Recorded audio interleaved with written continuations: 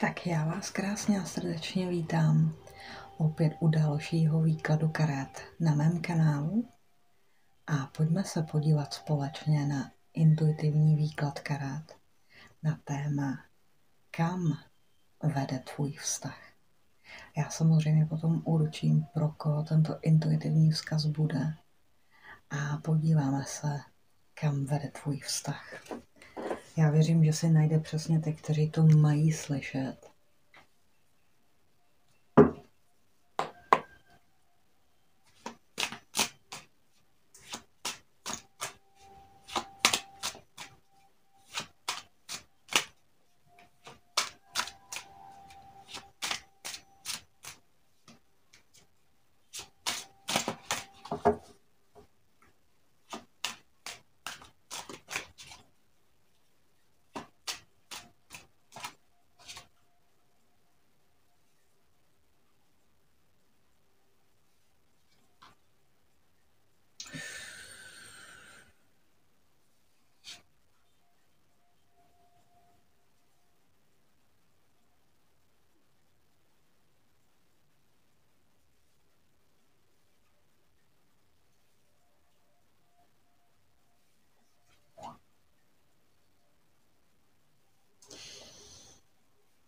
No.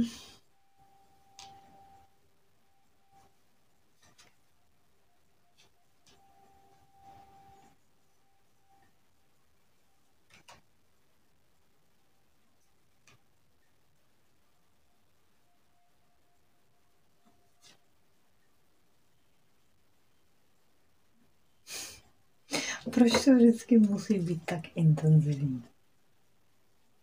Mhm. spodní balíčková karta. Tak, kam vede tvůj vztah? Máme tady kartu mírnost, obráceně. V první řadě tady máme kartu ESO poháru, obráceně. Další kartička, která tady je, je šestka holí obráceně. Tak a já bych se věnovala nejprve těm kartám, které tady máme. Tak pro koho tenhle výklad bude? Vy se musíte připravit. Protože já nevím, jak to říct. Vy jste do této fáze. Do této fáze byli až příliš, až příliš trpěliví. Až příliš jste se zaobírali tou i druhou stranou. Ale já mám takový jako pocit, že vy jste si vybrali vy jste si vybrali špatnou osobu. Velmi špatnou osobu. A je to jako kdybyste měli pocit, že se potřebujete snažit právě jakoby dávat něčemu čas. Dávat, řekněme, něčemu volný průběh. Ale já cítím, že hodiny dotěkaly. Tady pravdu hodiny dotěkaly. Protože ten vztah vám více bere. A tady nejde ani o to, jestli vám ten vztah něco bere. Tady je to opravdu o tom, že vy jste trpěliví nebo diplomatičtí, nebo se snažíte strašně jako jo, něčemu dávat prostě volný průběh. Ale vy vůbec absolutně nevidíte, že osoba, která je na vás napojená, ke které máte tuto snahu, ke které máte to myšlení, ono to chce čas. Nebo dejme tomu čas. Tam stále něco neustále jakoby vyvažujete ale vy tady pláčete na špatném hrobě. Proč? Protože, jak říkám, tady v podstatě čas dotěkal. A pro vás to v podstatě znamená, že a určitá snaha tady nebude odměněna, jak jste si představovali, nebo jo, já tady prostě cítím určitého člověka, a který viděl určitého člověka, který je komplikovaný. Jo, který...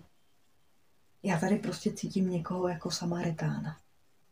Někoho, kdo vidí určité, určitého člověka a ví, že ten člověk není jednoduchý. Vy jste si to pojali jako výzvu. Vy jste si to pojali jako projekt. Jako opravdu osobní projekt. Tenhle člověk není jednoduchý, a o to víc mi to přitahuje. Tenhle člověk je komplikovaný. A začali jste si tam nalávat strašně hodně věcí. Ten člověk potřebuje čas. Dejme tomu čas. Um, necháme to takhle. Půjde to takhle.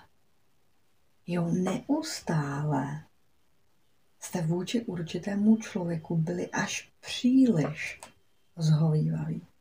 Příliš jste tomuhle člověku dali čas. A hodiny přestaly tikat. Vám vypršel čas.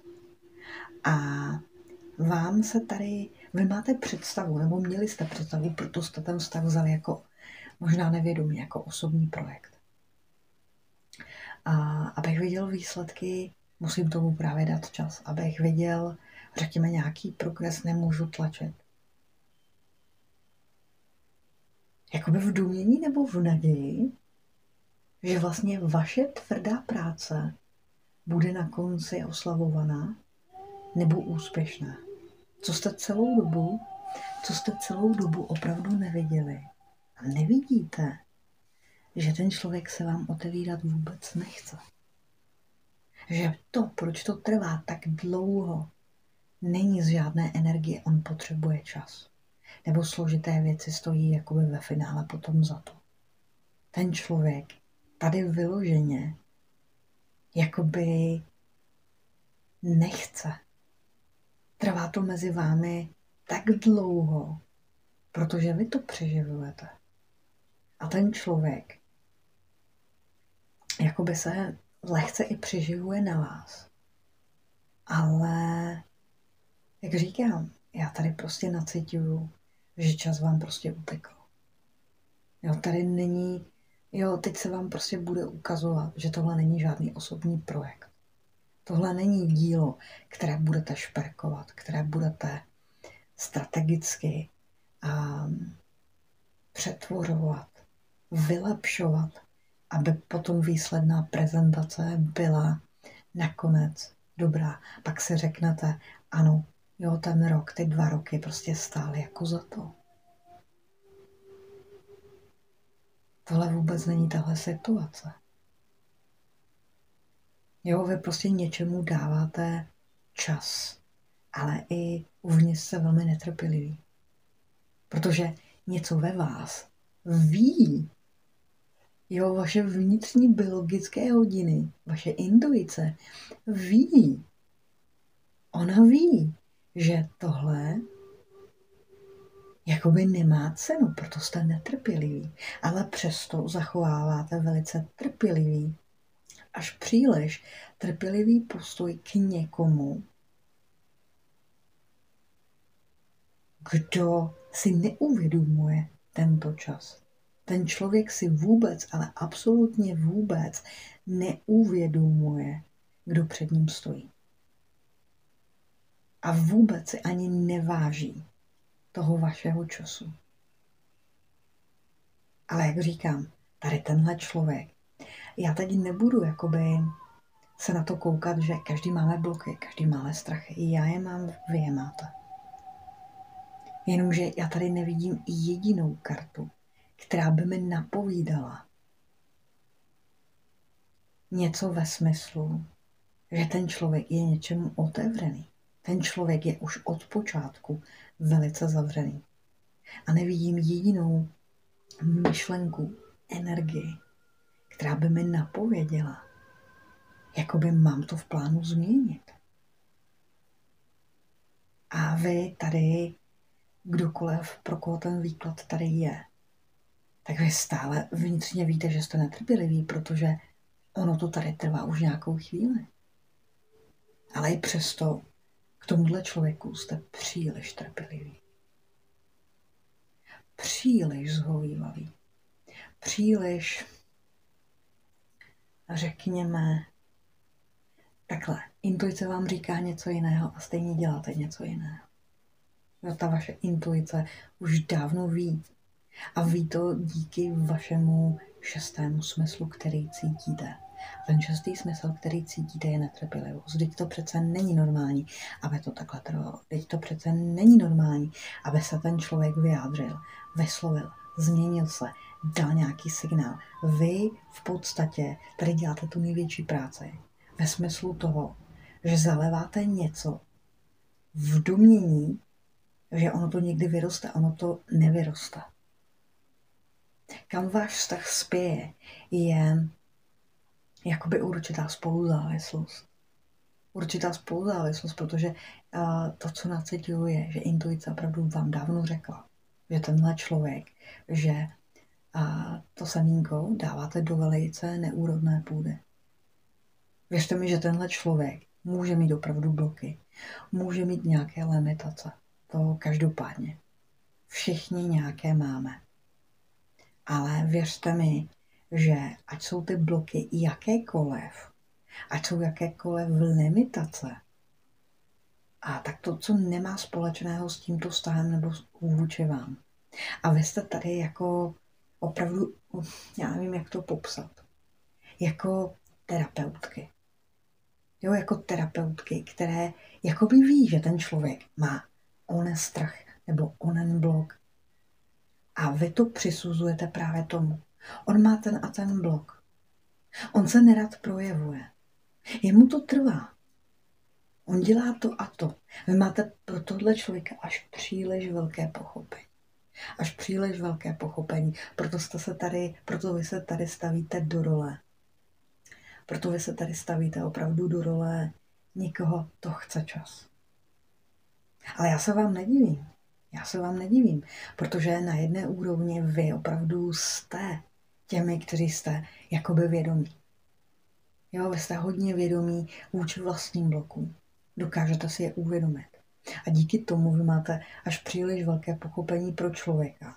A proto, vám, proto ale vám ta intuice říká, proto je netrpělivá. Jo, proto jste kolikrát třeba i impulzivní s tímhle člověkem. Nebo máte pocit na něj zatlačit. A když už na něj potom zatlačíte, v jakémkoliv slova smyslu, tak ten člověk jakoby reaguje na vás. Ale pak stejně jdete do módu trpělivosti. Pak jdete stejně do toho módu, ono to chce čas. A, ale já vám upřímně říkám, že tady můžete čekat s tím člověkem je 5-10 let a nic se nezmění. Nic absolutně se nezmění. Protože, jak říkám, ono z vás jde opravdu cítit, jakoby, aniž byste si to přiznali. Vy jste si tohle člověka vzali jako osobní projekt. Ale pamatujte na jednu věc. Člověk, ať je jakýkoliv, a jemu nemůžete pomoct.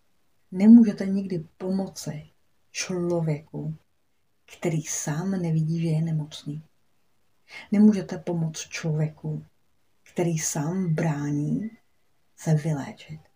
Nemůžete otevřít srdce někomu, kdo dobrovolně si to srdce nechává zavírat.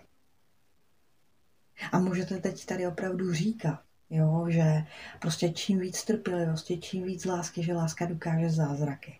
Ano, dokáže zázraky, ale s pravými lidmi, kteří, i když můžou mít bloky, i když můžou být limitovaní, tak stále jsou ochotní pro tu lásku se měnit, aspoň částečně, krok za krokem. Ale jde tam vidět nějaká snaha. Tenhle člověk vám žádnou snahu neukazuje.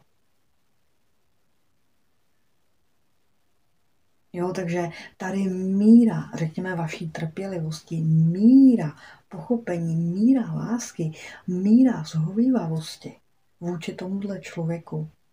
Jo, i kdybyste do tohohle člověka dali 100% obětování, 100% pochopení, 100% lásky. Jo, já tady nevidím, že by se to vám ve finále jakoby nějak jako vyplatilo. Jo, z, kam, z kamene prostě ananas neuděláš.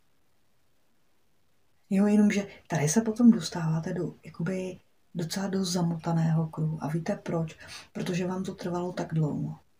Ono vám to trvalo tak dlouho, že vy jste do toho investovali tak moc času, tak moc prostě pochopení, že vám se postupně opravdu bude ukazovat, že ten člověk je prostě neměný.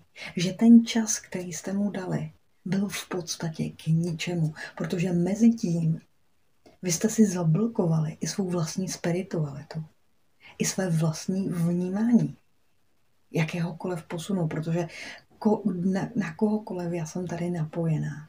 Ten člověk je spirituální. S tímhle člověkem, ať už jste s ním dva, tři, čtyři roky, s tímhle, člo, s tímhle člověkem jste se spirituálně úplně pokazili, zabrzdili, nevyvíjíte se. I když vy máte pocit, že ano, nevyvíjíte se. Protože automaticky jdete proti své vlastní intuici. A to je opravdu projev vašeho těla, který kolikrát s tímhle člověkem byl impulzivní, byl netrpělivý, nebo jste jakkoliv na tohohle člověka zatlačili. Nebo jste iniciovali věci, které vám prostě chtěli se nějak jako vyjádřit s tímhle člověkem. Jo, ale tenhle člověk je totálně, ale totálně neaktivní. Totálně neaktivní. Jo, a já tam prostě vidím, že míra toho času, a který jste vy strávili chápáním, bádáním a nevím, co ještě, vlastně potom udělá jednu zásadní věc. Vy totiž, jak do toho vložíte takovou jako fakt čas, jo, energii, jak říkám, beru si to jako osobní projekt, nevědomně, tak co se vlastně děje, je, že vy uvidíte, že ten člověk se absolutně v ničem nepohnul vůči vám. Absolutně se vůbec nezměnil. A co vy potom jakoby v tom vývoji uděláte, je, že vy se jakoby vzdáte, to ano. Protože vy tam uvidíte, že jakoby jakákoliv snaha, míra, já nevím, kompromisů, prostě trpělivosti nikam nevede. Ale to nejlepší máme nakonec.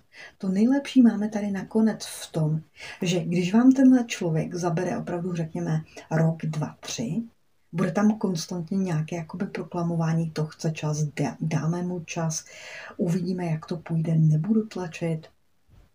A pokusím se ho chápat, pokusím se ho analyzovat, potom přijdu na to, on se mi otevře, on se začne chovat lépe, on se začne chovat takto, on bude jiný, on bude lepší, já to vím, jo. A teď, co vy v podstatě uděláte, nebo kam vede ten váš vztah, je, že tohle jakoby v nějaké míře pokračuje. A pak vy dojdete k věci, kdy uvidíte, že vlastně ten člověk se absolutně nikam nepohnul. Ale jak říkám, to nejlepší přichází nakonec. Proč? Protože jakmile vy dojdete do jakési neúměrné části, jako by takové cílové stanice, kde vy fakt uvidíte, že ten člověk je prostě vůči vám úplně imunní a prostě jakoby se za ty dva, tři, jo, nebo tu dobu, co jste spolu, absolutně vůbec nic nezměnilo. Tak celou dobu ta netrpělivost, kterou jste cítili s tímhle člověkem a kdy jste se kontrolovali, buď třeba trpělivá, buď zhovývavá, prostě více ho pochop.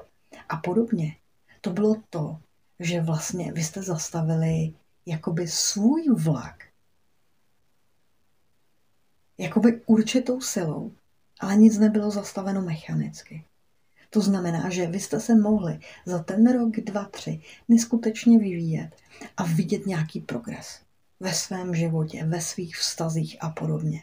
Díky tomuhle člověku vy se zastavíte a tlačíte ten svůj osobní vlak opravdu násilím, aniž byste vypli elektroniku nebo cokoliv, nebo zasli palivo. Jo, je to jako byste ho drželi a vlastně a prostě násilím se nepohybovali. A pak, co se stane, je, že kam vede ten vztah. Vy uvidíte, že za dva, tři roky ten člověk absolutně se nikam nepohl. Ani doprava, ani doleva. Je stále stejný. Je vůči vám stejný, nic ho nezměnilo. Míra hádek, míra dramatu, míra odmítnutí, míra separace, a prostě otevřenost, nátlak, ultimáta a řeknu, povídání si o tom, co chci a že chápeme jeden druhého. Wow. Nakonec zjistíte, že se absolutně nic nezměnilo.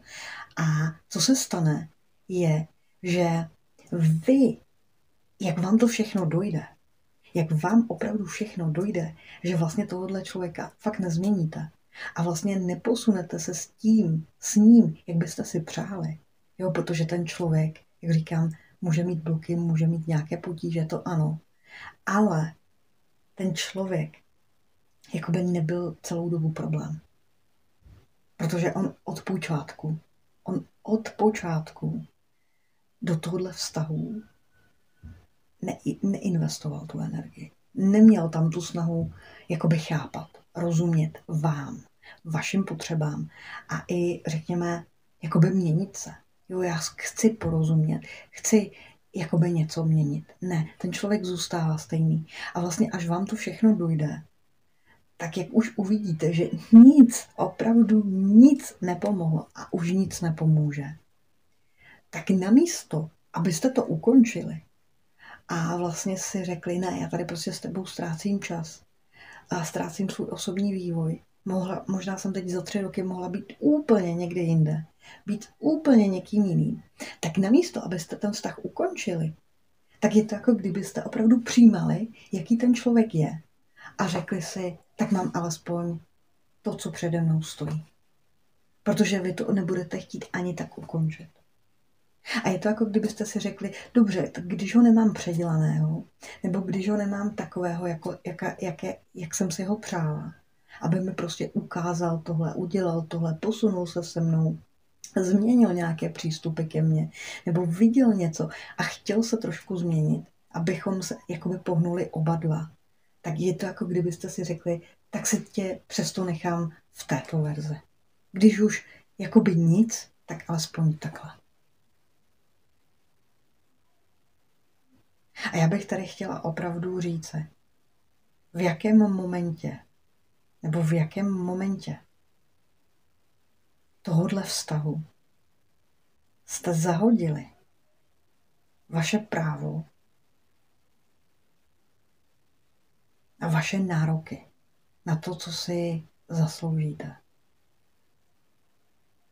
V jakém momentě se tohle jakoby děje? Nebo v jakém momentě se to stalo? Protože to, co vám může dát tenhle člověk, to, ty, to pouhé minimum, to pouhé minimum, by druhý dělal úplně přirozeně a automaticky. Já chápu, že tenhle vztah je hodně intenzivní. Já chápu, že vy jste tohodle, do tohohle člověka jako snažili jste se ho chápat. Ale dejte si otázku, někdy pochopil on mě. Položte si otázku, byl někdy ke mně tak zainteresovaný, aby opravdu vědomě mohl na sobě pracovat a vlastně vidět ve mně něco, co jsem v něm viděla já? Já upřímně uh, tady vidím, že já nechci říkat, že ten člověk je zlý, špatný nebo něco takového. Není. Ale to, co já tady vidím, je, že jakoby ve finále, kam vede ten vztah, je, no dobře, tak jsem tě nezměnila, tak se vlastně jakoby neposouváme, a tak je to prostě takové a takové. A vlastně proč si nevzít ty drobečky, které mi nabízíš, aspoň tě v tom životě mám. Protože vy uvidíte, že jste prostě šli na samý konec, kde jste mohli udělat všechno, co jste mohli udělat. Vy jste se alespoň částečně, jo, jako někam posunuli. Ale stejně cítím prostě to zabrždění. Stejně cítím opravdu to zabrždění a nakonec to povede tak, že vy z toho člověka prostě nebudete chtít pustit, ani když prostě uvidíte, že ten člověk se absolutně nezměnil, zůstal takový, jako zůstal, jako byl na začátku, ale pak bude problém pro vás. Jo, protože tam je i taková míra energie, tolik jsem do toho investovala, tolik pochopení jsem do toho vložila, jo, tolik času jsem do toho vložila a jakoby když už vidím, že to nikam nevede, tak já mm, jakoby nechci to teď pustit. Nechci to pustit, tak to přijímám takové, jaké to je. No tak mi neukazuješ ty city. No tak mě nechceš do vztahu. No tak si mě prostě nevážíš. No tak prostě nejsi citlivější ke mně. No tak není to tak, jak to mělo být. Ale aspoň tě mám ve svém životě. A tady bych si opravdu dala otázku, jestli je to opravdu kvůli tomu člověku, nebo je to kvůli vám.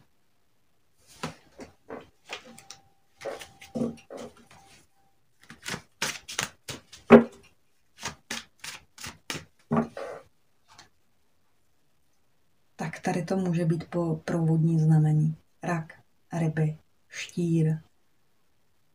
Rak, ryby, štír. Možná ještě střelec.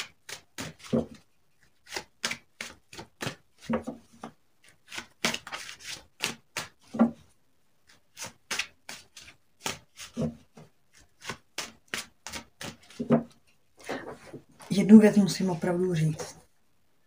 Ten vztah nebyl proto, aby změnil toho člověka. Ten vztah byl proto, abyste se změnili vy.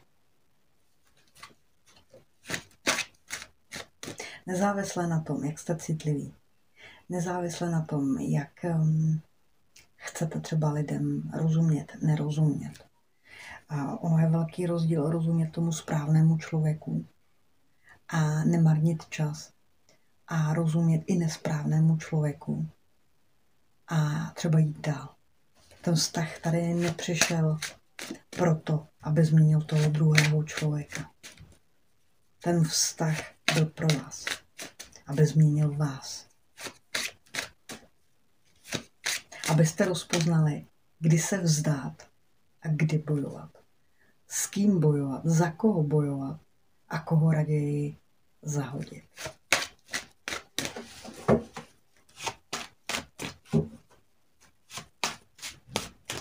Takže opakuju.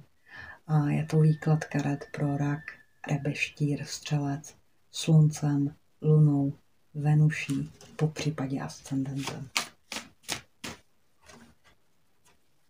Karta podvod. Někdo v tomto vztahu nosí falešnou masku. Mějte otevřenou mysl. Vaše zpřízněná duše může vypadat jinak než lidé, na které jste zvyklí a jinak než očekáváte. Celý ten trik je opravdu v tom, že investujete v podstatě do úplně nesprávné osoby. Odpoutejte se od svých bývalých partnerů, přišel čas. Stojí za to počkat. To je přesně to. Jak už dosáhnete opravdu cílové roviny a uvidíte, že ten člověk je pořád stále stejný, tak jak už přijde čas, kdy byste to měli vzdát, tak vy se najednou zastavíte a řeknete si, aspoň tě mám prostě tady takhle. Jo, protože ta kartička spodní balíčkové karty je stranou od ostatních. To znamená, že když už prostě vím, že tě nedokážu změnit, a tak alespoň budu chtít s sebou prostě trávit čas. Jakkoliv to půjde, nebo jakkoliv budu s tebou, tak budu chtít s tebou trávit ten čas, protože ve finále pro vás to bude těžší nepřiznat si určité věci, ale prostě jakoby vzdát to s tímhle člověkem. Ať to bude jakkoliv, bude to pro vás těžší vzdát se. Protože vy jste hodně, vy se nevzdáváte v tom životě. Ať je to cokoliv. Vy se nevzdáváte. Ale tohodle člověka byste se vzdát skutečně měli. Protože tady to už není o tom, jestli, jestli ten člověk je takový nebo onaký. Tady jde o to, že zahazujete sebe. Vy zahazujete tím sebe. Kompletně. A čím víc vy budete zahazovat sebe a říct si, například, já chci manželství, partnerství a klidně si na to s tím člověkem počkám. A jo, má to prostě takový efekt, že čím víc jsem v tom vztahu a tím víc vlastně se nic nehýbe, tak děti být nemusí. Manželství být taky nemusí. Jo, a je to jako kdybyste postupně odhazovali ty věci. A ani na jedno ten člověk jako ne, že nepřistoupil, ale jako by ani jo, jednou se nezhodovalo s tím druhým. A pak ve finále jdete k té samé podstatě, co jste potkali. A pak si, jako byste si řekli, nechám si alespoň tohle.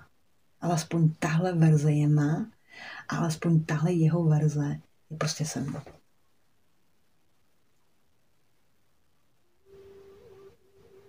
Ale vy jste tohohle člověka si takhle naučili. Že vy jste těmi více jakoby chápavými, rozumnějšími, trpělivějšími. Ale jak říkám, tenhle člověk nikdy nebyl pro vás. Nebo nebyl pro vás proto, aby vám všechny tyto věci dal. Ten člověk přišel do vašeho života, abyste rozpoznali, co právě nedávat, co limitovat. A kdy se vzdát. Je to jako kdyby ten osud věděl, ona se nikdy nevzdá. Ona se nikdy dlouho nebude zlobit. Ona bude chtít hledat odpovědi. Ona ho bude chtít zkoumat. Ona ho bude chtít pochopit. Ona je prostě taková.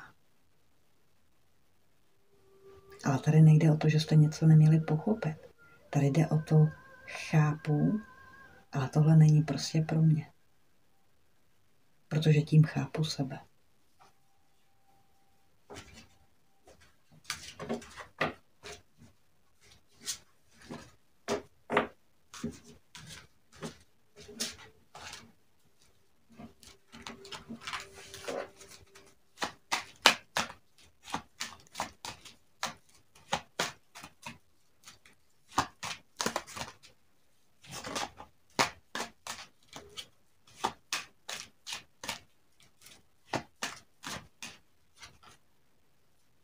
Naděje, láska a přijetí. Láska vám náleží. Uvědomte si svou božskou hodnotu. Vybírejte si lásky plné myšlenky. Láska, modlitba a rozjímání. Spojte se s nebesy, požádejte a bude vám dán. A Lady Porty a božský řád. Dělejte to, co cítíte jako správné. Čeká vás důležitá lekce. A kutumi plášť moudrosti. A ta lekce, která vás čeká, je právě ta moudrost. Moudrost.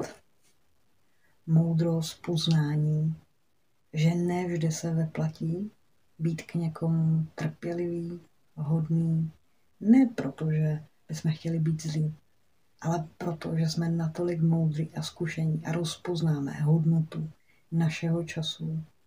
Pochopení můžeme mít s každým, porozumění taky. Ale čas stejně velice vzácný a tam vás prostě čeká lekce toho pochopení, té moudrosti, kdy vám prostě určité věci dojdou s tímhle člověkem. Jo, že chtít jednu věc. Je prostě úplně velký rozdíl. A od tužeb, jo, to je prostě jedna věc. Ale věc druhá je to, co se vám skutečně dostává. A vy pochopíte, že jo, co, to, co vám ten člověk dává, to je, to je přesně odrazem té reality. Takže vy pochopíte, že ten člověk je opravdu neměný.